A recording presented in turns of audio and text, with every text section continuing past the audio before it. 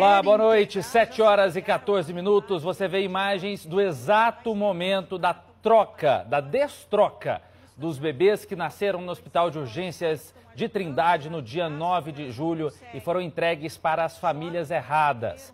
Hoje, exames de DNA comprovaram que os bebês estavam com os casais errados. Foi um momento de muita emoção registrado pela nossa equipe que ainda se encontra lá na Delegacia Regional de Trindade. Você vê os dois casais, Murilo e Aline, e também Genésio e Pauliana, no momento em que eles entregam os bebês para os verdadeiros pais. E agora nós continuamos nessa cobertura ao longo da edição do Jornal Anhanguera com a repórter Patrícia Bringel, ela que acompanhou toda essa movimentação lá na delegacia e agora volta a conversar ao vivo conosco. Patrícia, nós mostramos o momento da chegada dos casais aí até a delegacia e a gente consegue perceber pelas imagens a, o tremendo momento de emoção né, desses pais ao efetivarem aí essa destroca dos bebês. Boa noite para você.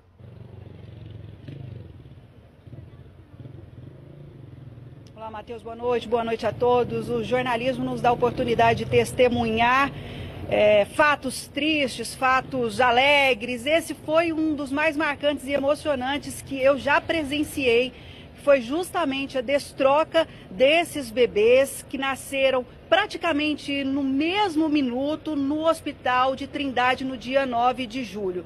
Esse erro, essa falha foi comprovada por exame de DNA, ficou constatado através do material genético coletado dos casais que o bebê que estava sob os cuidados da Pauliane e do Genésio é na verdade filho biológico do Murilo e da Aline. E da mesma forma, o que estava sob a posse do Murilo e da Aline é filho biológico do Genésio e da Pauliana. Ah, eu não conseguia nem me expressar direito no momento dessa destroca, porque os pais tiveram que ajudar um pouco arrancar os meninos dos, dos braços das mães e uma delas, inclusive, recuava como se estivesse travado, não conseguia receber o próprio filho diante da emoção ali que era aquele momento e de tudo que eles já viveram, já vivenciaram juntos desde o dia 9 de julho, amamentando, cuidando. Eles. Alguns dias já estão dividindo a casa, estreitando relações. Mesmo assim, foi um momento realmente muito difícil. Eu estou aqui com o delegado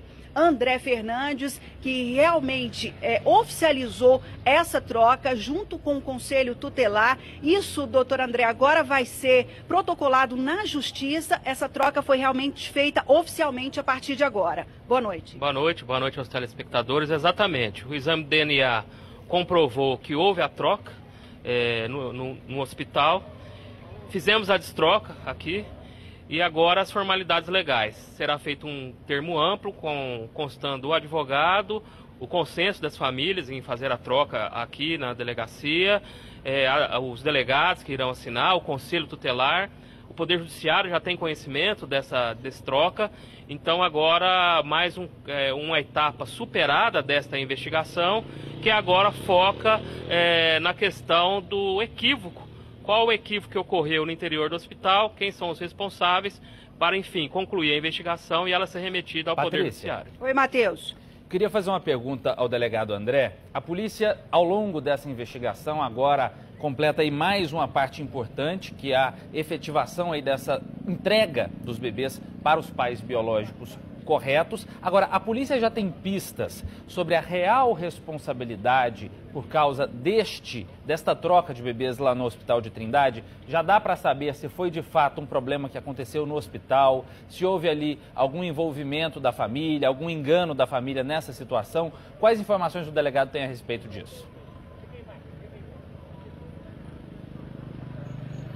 Mateus, foi o fim da angústia né, para esses casais e da espera também, por outro lado, um alívio aí para outras famílias que tiveram bebês nesse mesmo dia no Hospital de Trindade. Muitos, inclusive, já tinham procurado aqui a delegacia, preocupados com outras possíveis trocas, com o que estava acontecendo com o sistema do hospital. Eu passo a pergunta agora para o delegado André Fernandes. O Matheus gostaria de saber se já realmente, de fato, algo que responsabilize o hospital ou que já é, diga realmente o que aconteceu naquele mesmo dia ou ainda cabe outras investigações, delegado? A investigação, Matheus, está em processo de, do meio até o final. é, nós temos te, é, provas testemunhais por depoimento, por declarações, que comprovam como foi o erro e o momento desse erro. Temos também uma filmagem que conseguimos é, apreender e coletar, onde mostra que dentro do interior do quarto a Aline já estava com o bebê trocado, é uma imagem onde mostra o bebê sendo alimentado. Aquela imagem comprova que o bebê é, estava no colo da Aline, que aquele bebê biologicamente não era o dela. Quer dizer, desde o primeiro momento. Exatamente. Já, já foi feita essa troca, amiga. Exatamente. Então nós temos a comprovação material em que houve a troca e a, a lei prevê a questão é, dos responsáveis por essa troca, essa identificação correta entre os pais, a gestante, e o recém-nascido. Então é isso que é, criminaliza essa conduta. Delegado, então não há nenhuma dúvida que houve realmente falha por parte do hospital, que essa troca foi feita dentro do hospital, apesar de outras versões dadas por funcionários e também pela direção do TRIM. A, a, a, o que nós colhemos, tudo indica e vai finalizar dessa maneira que houve o erro no interior do hospital. Tanto é que houve já mudança de procedimento, é, acrescentando mais uma forma de verificação após o banho dos recém-nascidos. Então, o que nós temos aqui caminha para o indiciamento.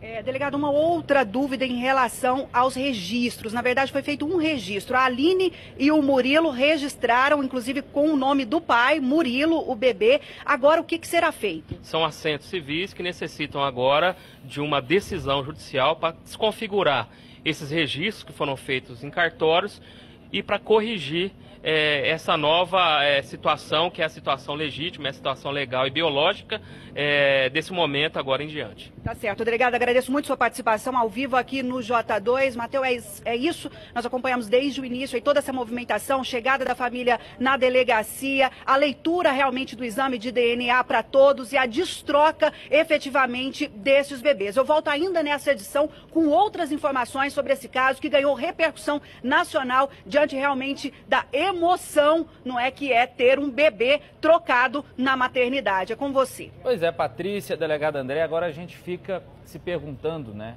Quais serão os novos procedimentos que o hospital irá adotar, qual será a postura para corrigir esse erro que aconteceu. E a gente fica na torcida também para que essas famílias saibam analisar todo esse processo, afinal de contas foram 24 dias com os bebês trocados e que eles possam, né, a gente torce para que eles possam ter aí agora uma relação de harmonia, uma relação de convivência, que façam desses limões uma limonada para que essa tristeza seja convertida aí numa relação de amizade, de prosperidade, que essas crianças cresçam felizes. Patrícia, daqui a pouquinho a gente volta com você. Um abraço e o nosso agradecimento para o delegado.